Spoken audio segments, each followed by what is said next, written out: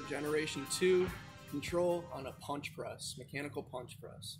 So the first thing that you're going to want to do is turn your disconnect from off to on and start your motor in a forward direction. Now take a look at your keypad screen. It's going to ask you if safeguards are in place. Press yes. This is your run screen.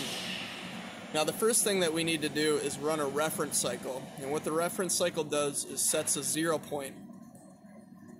In order to do that, you're going to need to inch your press to top dead center and also note the position of the resolver. So let's show you that now.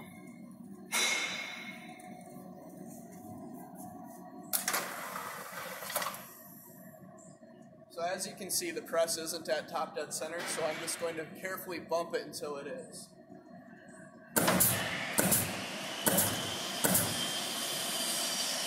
As you can see, the ram is near vertical and completely open. Now come take a look at the resolver position.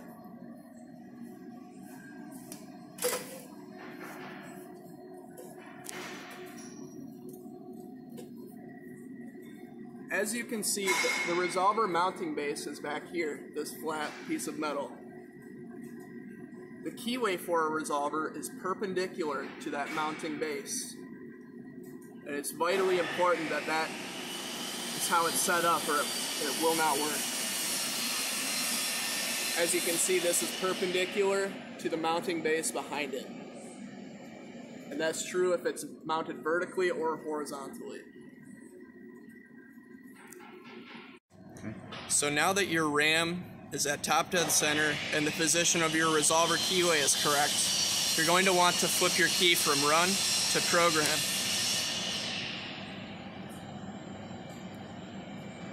You're going to scroll down to number four, system setup. Enter security code. If you haven't set one, it's enter. Now the first option is reference cycle. This is what we're after. Press enter. It's going to tell you press must be at top, which we've already done, and the sync switch must be off. Press yes to start. So we'll press yes. I'll walk over to the buttons.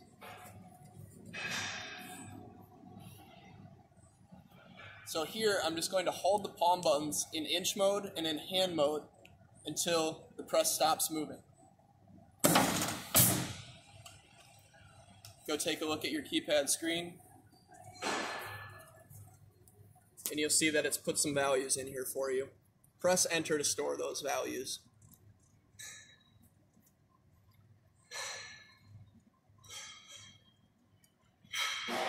Now the next thing that we're going to set up is our brake monitor. In order to do that, you need to know how long it takes your press to stop. So let me show you that now. You're going to flip your key from program to run.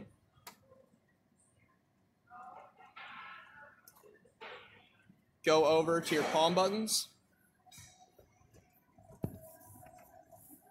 Run your press and then just hit stop. On the screen, you will now see your stop time measured in milliseconds displayed on the screen 253.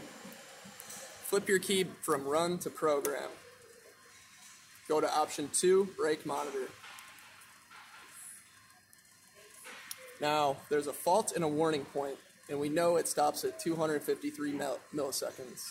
So we're going to warn ourselves once it takes above 300 milliseconds to stop and then we'll fault the press out when it takes 350 milliseconds to stop.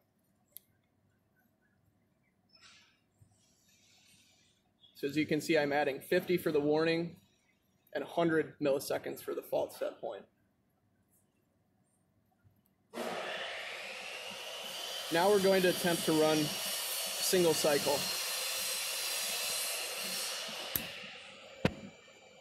flip your key from program to run and go over to your palm buttons. Um, also flip your key from inch to single.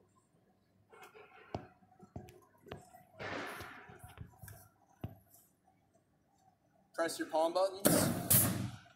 you'll notice that it's not stopping at top dead center.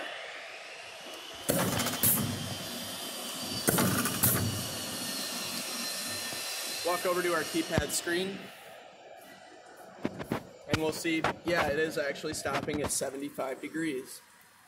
So we're gonna change that. Flip your key from run to program, scroll down to angle settings, number five.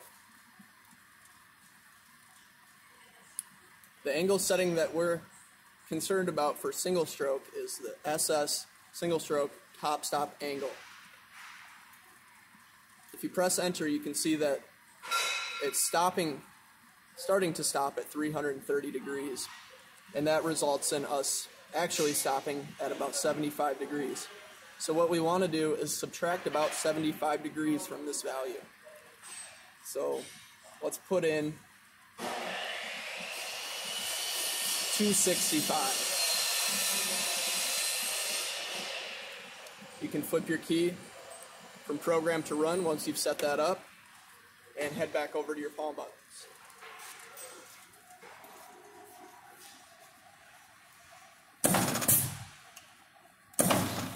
Can see it's now stopping much closer to top dead center. If you do need to adjust the angle further, just simply subtract or add however much the screen is telling you that you're going over. So for example, here it says we're going over five degrees, which is close enough to run the press, but you could subtract five from that angle once again if you would like it closer.